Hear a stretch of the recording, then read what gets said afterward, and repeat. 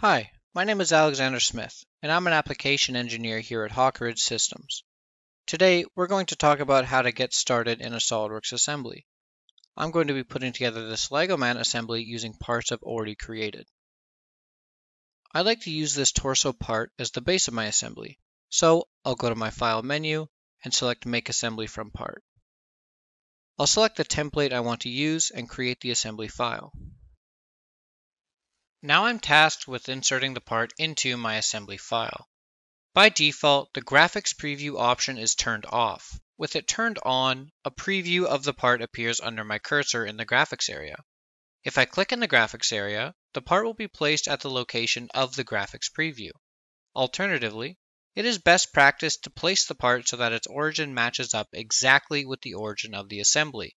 To achieve this, I can simply click OK in the Property Manager. Notice that I can't move the torso.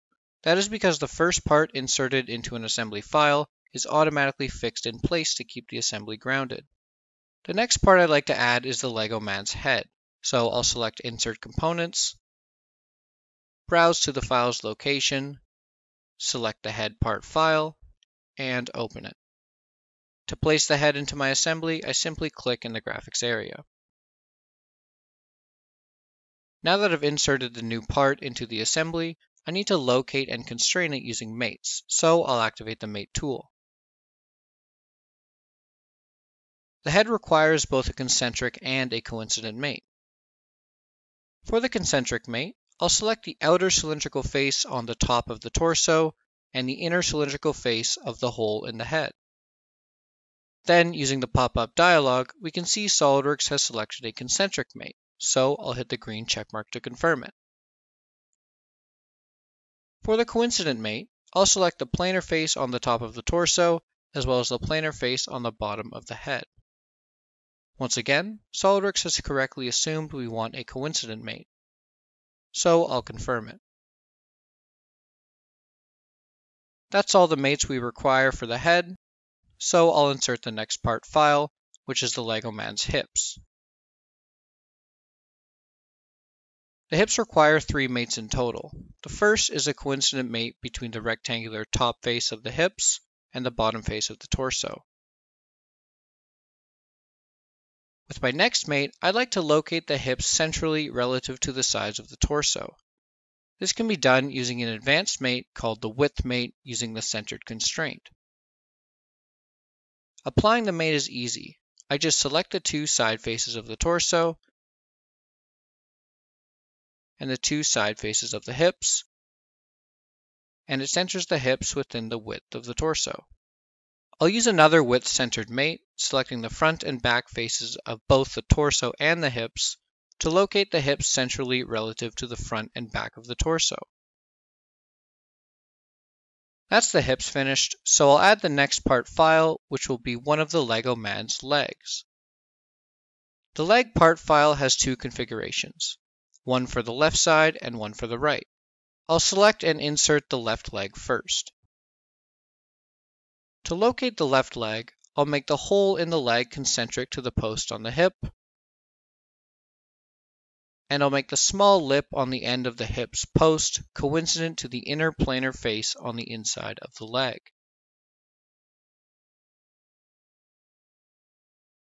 And that's all I need to do for the left leg. Now, instead of inserting another part file for the right leg, I can simply create another instance of the leg part by holding Control and clicking and dragging the leg in the graphics area. Then, to change the new leg's configuration, I'll click on the leg and select the right configuration from the list at the top of the context toolbar and click the green checkmark to confirm the change. Next, I'll add the concentric mate between the hole in the right leg and the post on the hips. And then for the coincident mate, I can press Alt to temporarily hide the two faces under my cursor. Now I'm able to select the inside face through the hidden faces without rotating my view. Finally, I'll select the face of the lip to finish the coincident mate. The next part I'll add is the LEGO man's left arm. For the two mates, I'm going to use a shortcut that bypasses the mate tool entirely. To add the concentric mate, I hold Control and select the two cylindrical faces I'd like to mate together and select the concentric mate type from the pop-up dialog. Similarly, for the coincident mate, I'll pull the arm out so I can see the faces, hold Control, and select the inside edge of the hole in the torso and the inner face on the arm, and select a coincident mate from the pop-up dialog.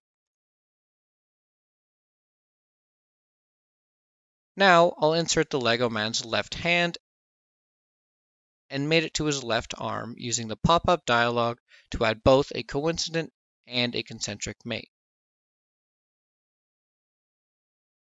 To create the right arm, I'll copy the existing left arm in the assembly and change it to the right configuration. To speed up the mating process, I'll use a special smart mate that will insert both a coincident and concentric mate in a single operation, called a peg and hole smart mate. To do this, I simply hold Alt, click on the edge of the arm I'd like to make coincident, and drag it onto the inner edge of the hole in the torso. And just like that, I've added both a coincident and a concentric mate at the same time. The last part needed for this Lego Man assembly is the right hand. So I'll copy the existing hand part and use a peg and hole smart mate to mate it to the right arm. The last thing I'll do is give this assembly a name and save it, and I'm all done with this LEGO Man assembly. In today's video, we covered how to get started in a SOLIDWORKS assembly, covering how to insert components as well as multiple methods for inserting different types of mates. You now have the required knowledge to start up an assembly of your own with ease. Thanks for watching.